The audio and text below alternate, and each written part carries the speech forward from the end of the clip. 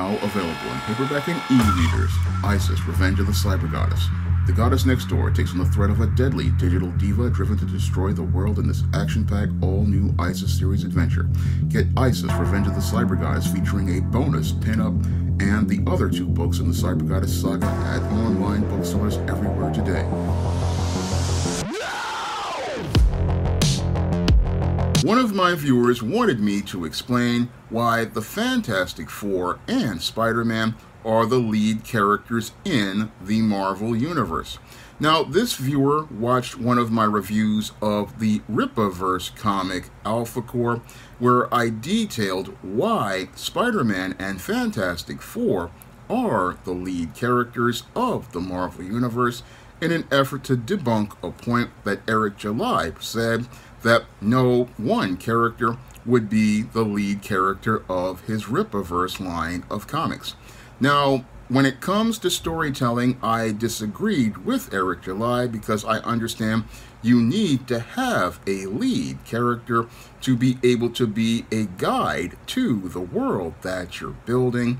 And I showcase this with the example as related to what led to the building of the Marvel Universe that we all know, and that is Fantastic Four and Spider-Man. Now, the entire Marvel age of comics actually started in 1961 when timely publisher Martin Goodman wanted to create a superhero comic and wanted to create a superhero comic that would compete with the very popular and top-selling Justice League of America. And that is where Stan Lee, who was thinking about leaving comics altogether, decided to come up with the concept of a superhero family because families were something that were a major part of America at the time. And he came up with the concept of the Fantastic Four and created a story called Fantastic Four number one. Now, Fantastic Four number one came out in 1961, and many at Timely didn't expect it to do well, but it turned out to be a huge hit. And Fantastic Four number one laid the foundation for the Marvel Age of Comics, as it was called back then, and was the foundation for everything as related to building the Marvel Universe. Now, the Fantastic Four were the lead characters of the Marvel Universe in that they were going to be the first family to be the guides to all of us and introducing us to all of the characters in the world of the Marvel Universe. It would be the father, Reed Richards, who would be the one who would help us explore this fantastic world of ordinary people who had extraordinary powers, and his love for science would be the thing that would show us a world of all sorts of superpowered people. Reed Richards basically is the lead character who leads us into the Marvel Universe and shows us this larger world.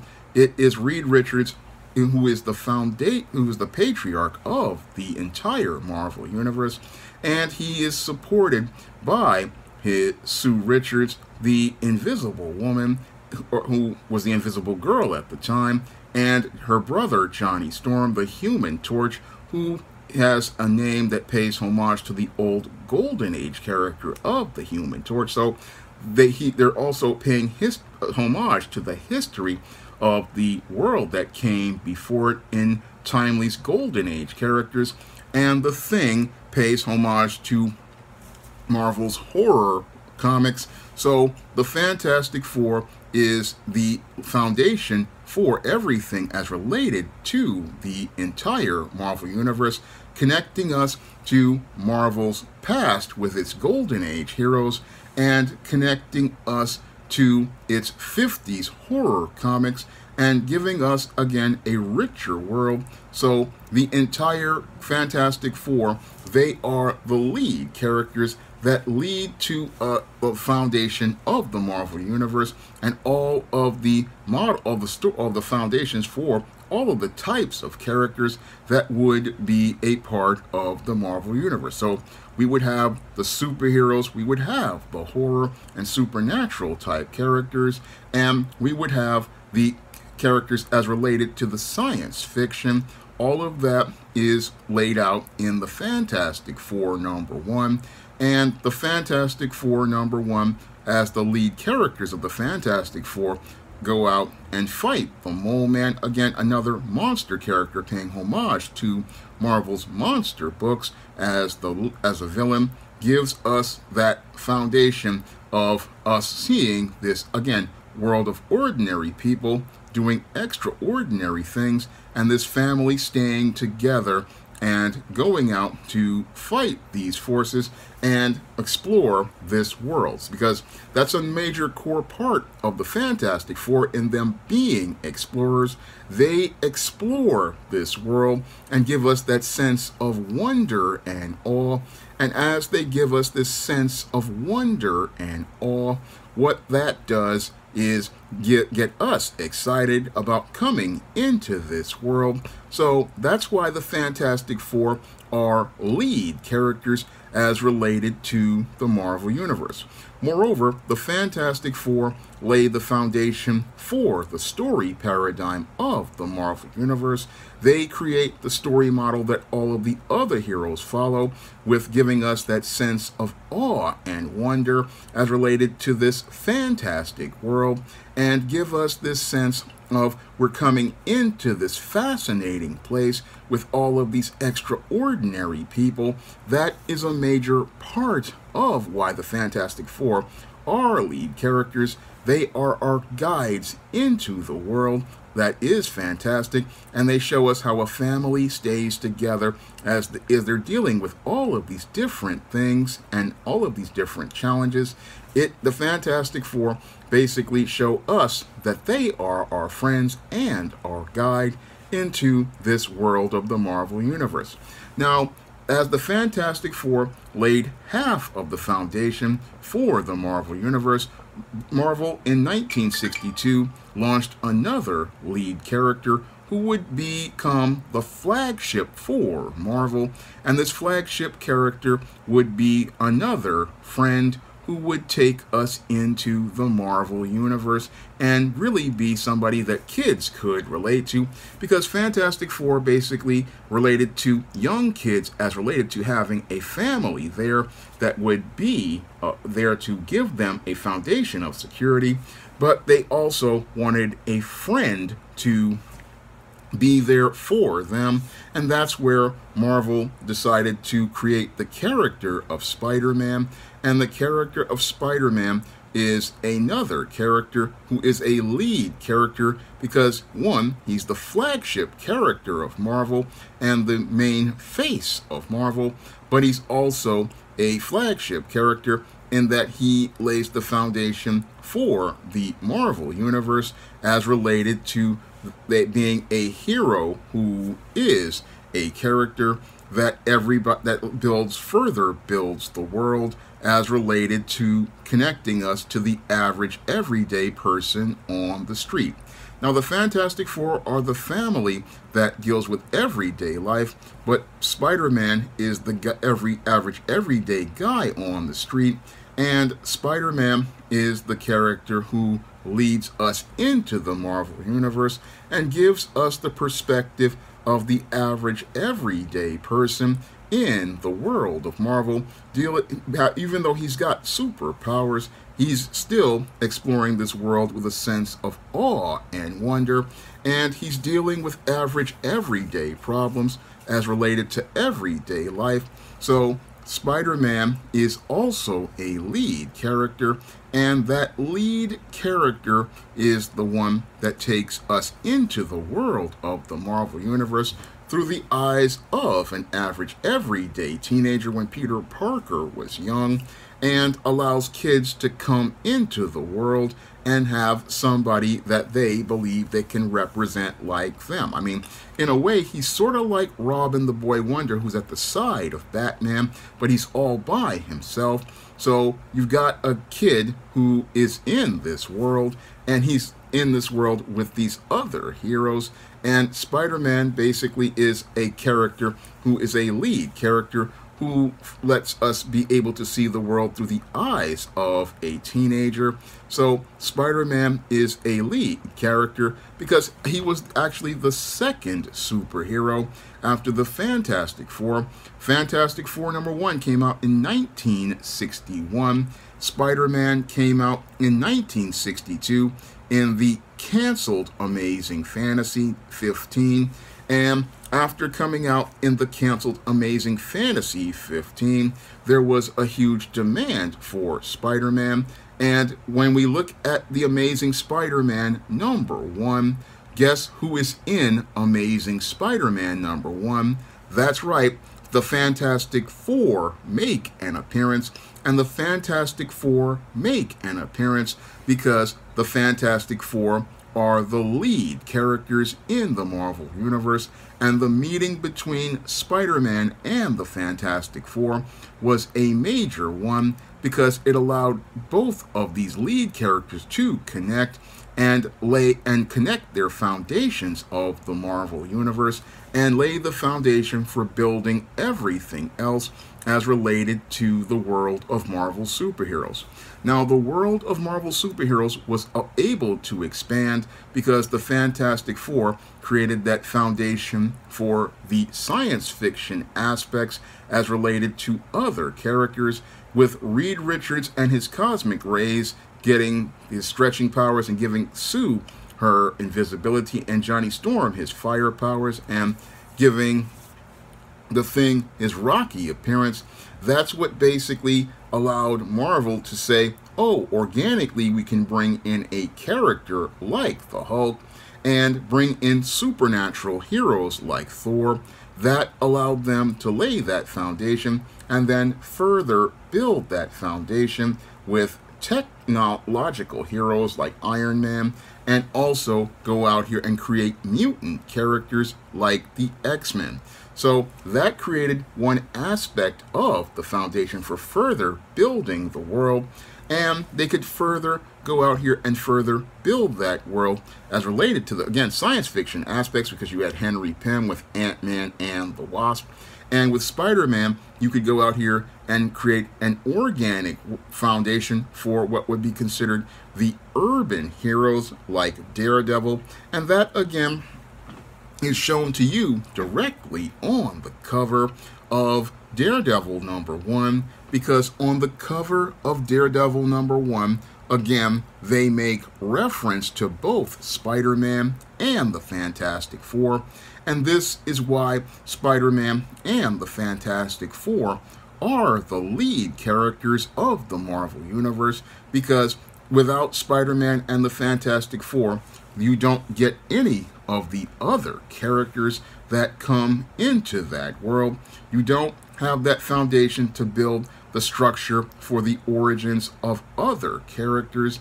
You don't have that foundation to build a structure if there's no Fantastic Four for the Hulk, uh, Daredevil, uh, Hulk, Thor, Doctor Strange, and Iron Man, or the X Men. That all comes from the Fantastic Four. And when it comes to Spider Man, he is the foundation for the street heroes like Daredevil and Luke Cage and Iron Fist. I mean, it's Spider Man who was the foundation for that whole story model as related to the street hero or the teen hero. Everything as related to the Marvel Universe comes out of two books Spider Man and the Fantastic Four, and they are the lead characters that lay the foundation for basically everything as related to the overall Marvel Universe, and they tie everything to the Golden Age characters that came before them. Because again, you have the homage to the Human Torch, who was a Golden Age hero with Johnny Storm, and that allowed the original Human Torch to be able to organically come into the Marvel Universe. Moreover, it could it led to the creation of the Vision, and Uh, as related to Captain America, he wouldn't have been able to have an organic way to come into the Marvel Universe eh, as related to the Golden Age and to the Modern Age if it wasn't for the Fantastic Four giving us this world where the ordinary could be the extraordinary. And that also led to the building of the world for the Avengers because Earth's mightiest heroes, they wouldn't have it wouldn't be a team if it wasn't for the Fantastic Four proving to be successful as Marvel's first family. And with Marvel's first family, we got heroes who were friends in the Avengers who worked together. So everything came straight out of fa the Fantastic Four and Spider-Man.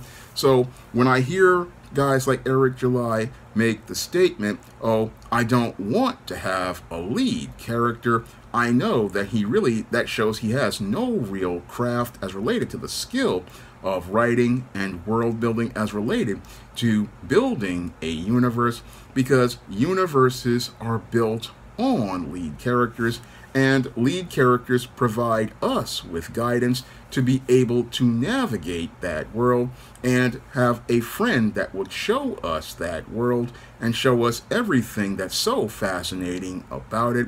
I mean, when you look at the Marvel Cinematic Universe, that Marvel Cinematic Universe was founded with a lead character in Tony Stark, and Tony Stark was the guy who gave us guidance into that world. He was our friend who gave us a way to see that world and see how everything was just fantastic and fascinating.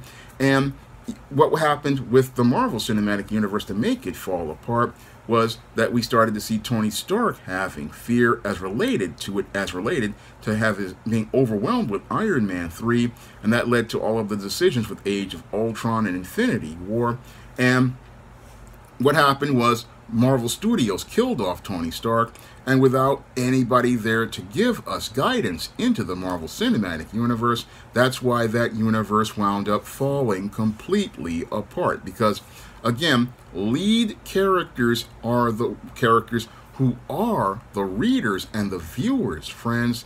They allow us to be able to have a friend to show us what's about this world and show us what's great about this world as they explore this world. That's why the Fantastic Four and Spider-Man were so important because the Fantastic Four were adventurers. Spider-Man was a kid who was wanting to learn more about everyday life. And as he was growing up in this world, he allowed us to be able to grow up with him in that world. So both of these character these series sets of characters they were essential to the building of the Marvel universe and that's what I learned just again reading comics for the ever since I was 4 years old and I saw this presented to me in Origins of Marvel Comics and this is something that is important as related to writing. You have, if you're building a universe of characters, you have to have lead characters because the lead character's job is to be the reader's friend that allows us to enter this world that is big and scary and allows us to have somebody to show us that he they have the courage to be able to enter this world and not be afraid and show us that nothing here is scary. That is the job of a lead character to show us this world and show us that hey you, this world is filled with fantastic characters but we're he's we're not afraid. And since we're not afraid we can explore the world that's going to be shown to us in the stories that are presented. That is the job of a lead character. A lead character is our friend. They are the hero of the story because they have the courage to overcome in the face of adversity as related to the challenges of that world. That's what the job of a lead character is, and a lead character shows us that the challenges in this story are not scary. So a lead character is essential to storytelling. A lead character is a major part of storytelling. That's what I have learned again from my over 30 years as a comic fan and have learned as I've learned the craft of writing. Now, when I built the SJS Direct universe, I started with two characters. I started with Isis and John Haynes, And I started when I published ISIS in 2002 to lay the foundation for the SJS Direct universe as related to the spiritual and supernatural and mythical aspects of that world as related to gods and the uh, um, creatures of the night and other supernatural characters. That's what I did with the Isis character in uh, showing her as being a part of the new Heliopolitans, and I also did it with her villainess Steam at the time, showing the dark side of that in contrast and showing that she was a part of this family. And as she was learning and getting to know about her family, she was going to be a guide to this world, a kind of girl next door who was going to learn more about this family and learn more about this family that she was a part of and a and the destiny she was supposed to achieve. Now, after I established ISIS in 2002, in 2005, I came up with a concept for John Haynes, and John Haynes is another part of that supernatural world of mythological and spiritual characters and a part of and part of further establishing that world in a more more modern and contemporary part of it in being the friend who was going to show us that these supernatural and mythical beings are nothing to be scared of. I mean, with the John Haynes character, what I try to show is that this common, ordinary man is in the presence of these gods, demons, and monsters, and he's basically seeing them as a friend. And as he sees them as a friend, we don't get scared of these beings that we are that are considered to be extremely powerful. And he's basically showing us that this world of beings that are considered to be incredibly powerful are nothing to be scared of. And that's the whole point of a lead character a lead character is one that allows us to come into these fantasy worlds uh, where we where people want to escape and feel safe and comfortable in that world. That's what a lead character's job is to do. And when a writer understands how to build a universe, they understand that the lead character is important and lead characters build worlds so when you have a story, what you want to do when you want to build a universe of characters like the Marvel Universe or the DC Universe, you do need these characters to be our friends. Like in DC, you have Superman, Batman, and Wonder Woman, who again are our friends. And that's why you need lead characters, because lead characters do three things they show us they are the main characters. They show us what they want to do in showing us a larger picture of that world. And they allow us to care because they are our friends and we form connections with these people that are as close as family and that's why they are important because they become like our friends and family.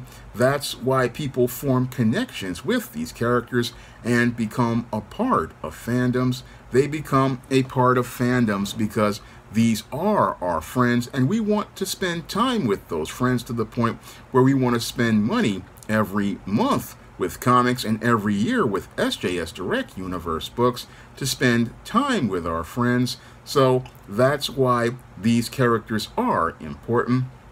And that's why the Spider-Man and the Fantastic Four were important because the Fantastic Four, again, they were the foundation for the Marvel Universe as related to being the first family of Marvel, and Spider Man is the flagship face of Marvel. So, whenever you think about what's important as related to Marvel, understand that the lead characters are Spider Man and the Fantastic Four. Yes, there are characters that are popular, like Iron Man, X Men, the Hulk, and all of those characters, but we wouldn't have a Marvel universe without Spider Man or the Fantastic Four. Now, I hope this explains everything to the viewer who requested this video, and if you want to request a video about comics, science fiction, and fantasy, you can send a donation to the Cash App by clicking the link in the description box. Or if you want to donate through PayPal, you can send a donation through PayPal by clicking the link in the description box. And if you want to pick up some of the action packed fantasy of the SJS Direct universe, like the ISIS series, the Steam series, the John Haynes series, the books of the Spinsterella trilogy, my Black Sorority novel, The Thetas, or my vampire novel, Eternal Night, you can find those books on Amazon.com in paperback and Kindle format. You can also find them at other online booksellers like Smashwords, the iBookstore, Google Play, and Barnes & Noble. And that's all I have to say for this video. You can comment, rate, and subscribe. Now available on Lulu. John Haynes at Death's Door. The man who rules the world takes on the Greek god of death in this action-packed, all-new John Haynes comic book. Get your copy of the first John Haynes comic at lulu.com today.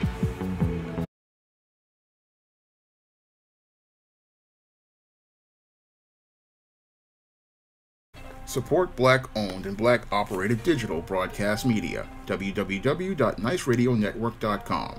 Nice Radio Network broadcasting 24 hours a day, 7 days a week.